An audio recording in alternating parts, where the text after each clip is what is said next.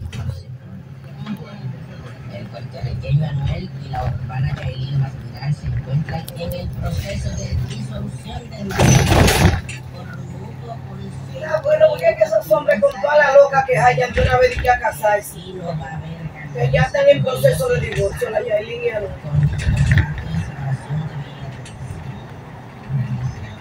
Ella no tenía la pero ¿para qué? Si no tenía la cabeza puesta en un matrimonio. Es que ella anda